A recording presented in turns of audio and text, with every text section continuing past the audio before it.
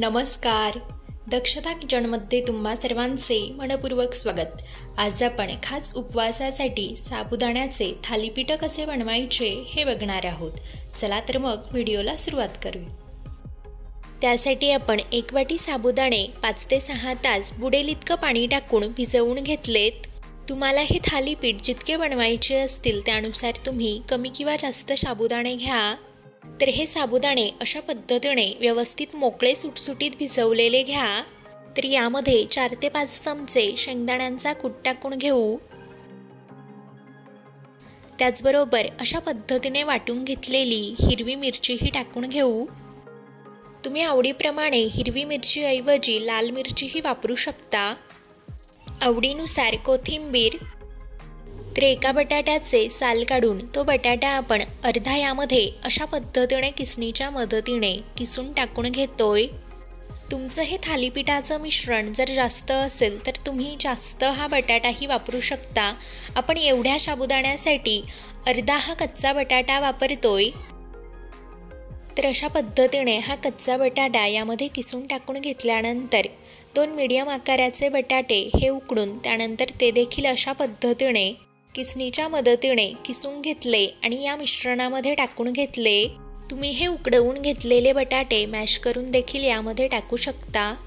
तर यावरून चवीनुसार मीठ टाकून घेऊ. त्याचबरोबर आवडीप्रमाणे थोडेसे जिरे अर्धा लिंबाचा रस.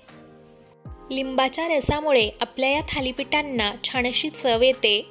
तर आता हे सगळं साहित्य आपण या साबुदाण्यांमध्ये व्यवस्थित असं मिक्स करून मळून घेऊ.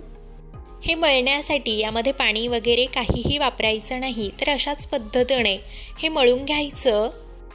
तर यामध्ये टाकून घेतलेलं हे सगळं साहित्य तुम्ही जितके थालीपीठ बनवणार असाल त्यानुसार कमी किंवा जास्त वापरा.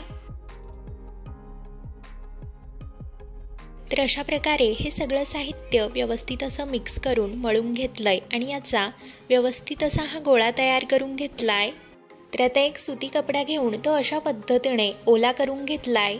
तर आता यावर मळून घेतलेल्या मिश्रणातून अशा पद्धतीने थोडासा गोळा घेऊन हाताच्या मदतीने याला थापून घ्यायचं. हात हा थोडासा पाण्याने ओला करून घ्या म्हणजे हे व्यवस्थित असं थापलं जाईल आणि हाताला लटकणारही नाही. तुम्हाला हे थालीपीठ जितके छोटे किंवा मोठ्या आकारामध्ये बनवायचे असतील त्यानुसार मिश्रणाचा गोळा घेताना छोटा किंवा मोठा घ्या. तर आवडीप्रमाणे तुम्ही हे पातळ किंवा जाडही बनवू शकता. तर अशा पद्धतीने मीडियम आकारामध्ये हे आपण थापून घेतलं आहे तर आता हे थालीपीठ भाजून घेण्यासाठी आपण तवा आधीच तापत ठेवलेला होता. हा तवा छान असा तापल्यानंतर यावरून एक चमचा तूप टाकून घेतलं आहे तुम्ही तुपाऐवजी तेलही वापरू शकता. तर आता हे बनवून घेतलेलं थालीपीठ अशा पद्धतीने हा सुती कपडा उचलून या तव्यावर अशा प्रकारे टाकून घ्यायचा. तर हे थालीपीठ तव्यावर टाकून घेतल्यानंतर लगेच उलटून घ्यायचं नाही याची खालची बाजू ही थोड्या वेळ व्यवस्थित अशी भाजून घ्यायची. हे थालीपीठ भाजून घेत असताना गॅसचा फ्लेम मिडियम ठेवायचा. आता यावरून आवडीनुसार पुन्हा थोडंसं तूप टाकून घेऊ. तुपामुळे आणखी छान चव येते. या थालीपीठांना तुम्ही आवडीनुसार टाकू शकता.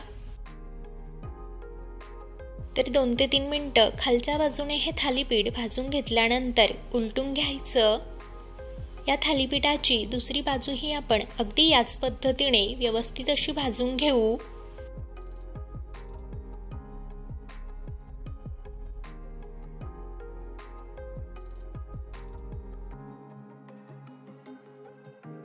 तर आता हे थालीपीठ अगदी व्यवस्थित असे आपण दोन्ही बाजूंनी भाजून घेतलेत.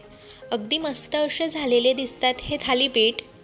आता हे थालीपीठ काढून घेऊ आणि याच पद्धतीने बाकीचे थालीपीठ तयार करून भाजून घेऊ.